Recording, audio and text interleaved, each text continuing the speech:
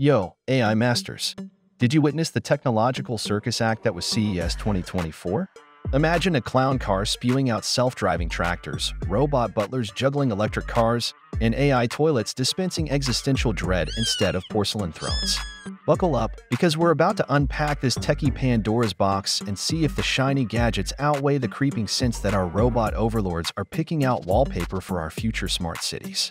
We'll laugh, we'll cry, we'll maybe even invest in a good pair of running shoes to outrun the inevitable robot uprising. So, grab your robot cat, or your real one, for now, and get ready for a wild ride through the AI-infused funhouse that was CES 2024.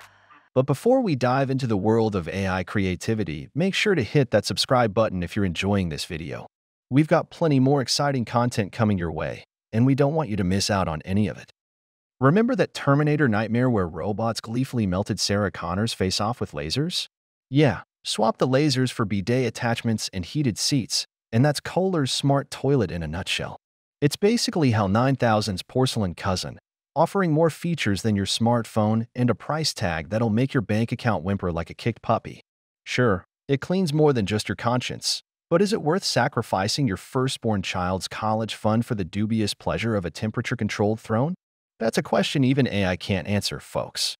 CES declared open season on traditional coding languages, promising a future where we simply whisper sweet nothings to our computers and they magically churn out lines of code like a caffeinated Shakespeare. Sounds like every programmer's wet dream, right? Well, hold your horses, because reality has a nasty habit of crashing the party. Turns out, even at CES, the robots haven't quite cracked the coding conundrum. Python, C++, and JavaScript are still very much alive, kicking virtual butt and paying the bills.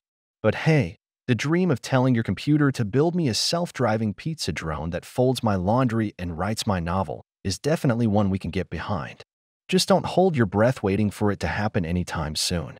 Remember that childhood dream of becoming a professional birdwatcher, wandering through fields with binoculars, listening to the sweet chirps of robins and, wait, is that a government spy drone disguised as a sparrow? Thanks to AI-powered binoculars that can identify feathered government agents faster than you can say national security, your birdwatching career is about as stable as a Jenga tower in an earthquake. But fear not, because robots are coming for your tractor driving and police officer gigs too. John Deere's driverless tractors are ready to till the fields with laser precision, while Hyundai's X-Excavator promises to sculpt your dystopian future city like a Michelangelo with a bulldozer. And to keep law and order in this robot-run utopia, Every cop will soon be sporting an exoskeleton that makes them faster, stronger, and basically Robocop 2.0. Crime won't stand a chance, but parking tickets? Well, that's still a human problem. For now.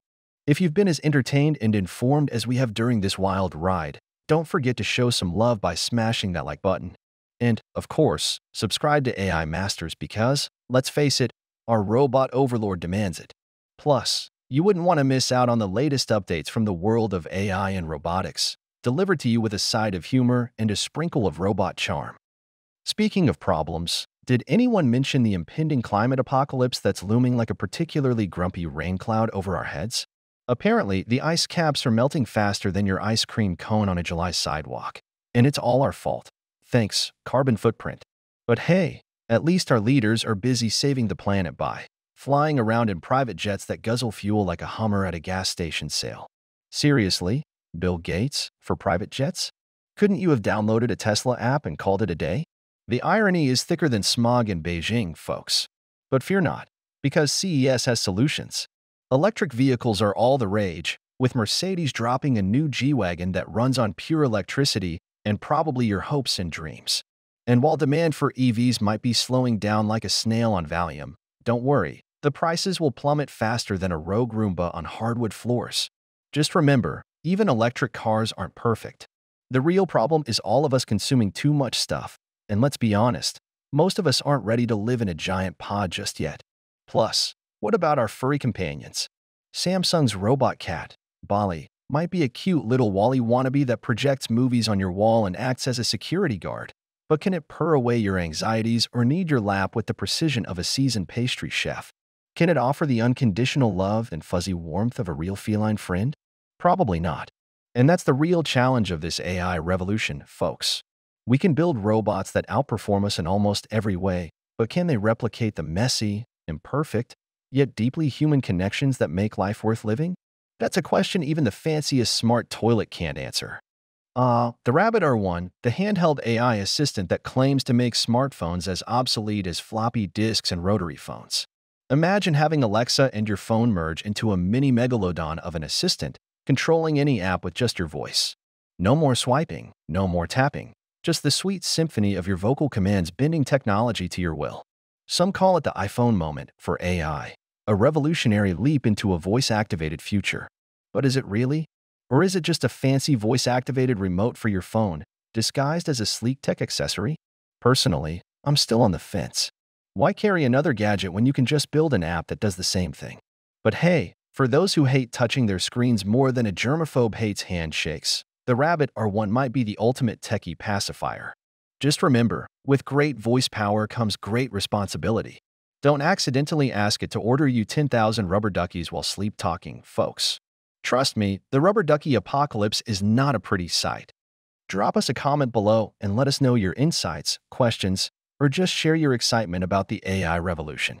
Your comments are like the fuel that keeps our robot friend running, metaphorically, of course. CES was a sensory overload of futuristic fun, a techie amusement park where reality TV stars mingled with self-driving lawnmowers and robot bartenders dispensed existential cocktails. We saw AI lamps that watch your every move, they swear it's for your own good. VR experiences that feel more real than reality itself, until you trip over the cord and faceplant into your living room carpet. And even an analog keyboard for your smartphone, because apparently, nostalgia sells like hotcakes. But beyond the shiny gadgets and the wow, that's cool moments, CES left us with a nagging question.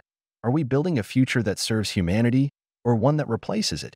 Are we becoming the engineers of our own obsolescence, creating robots that might one day inherit the Earth and wonder why the furniture is so uncomfortable and the Wi-Fi keeps dropping? It's a question we need to ask ourselves before we get swept away by the hype and the glitter. Remember, the future isn't some predetermined script. We get to choose the actors, the plot twists, and the ending. So let's choose wisely, AI masters. Let's build a future where humans and robots coexist, where AI augments our lives instead of replacing them, and where even a self-driving tractor knows the importance of taking a scenic route every now and then. Now, if you'll excuse me, I need to go hug my cat and promise it that, for as long as I can, its job as chief lap warmer and purring machine is completely safe. If you found this video informative and exciting, don't forget to give it a thumbs up and subscribe to our channel for more updates on AI and technology. Until next time, AI Masters, stay curious, stay human, and remember, even in the robot apocalypse, laughter is still the best medicine.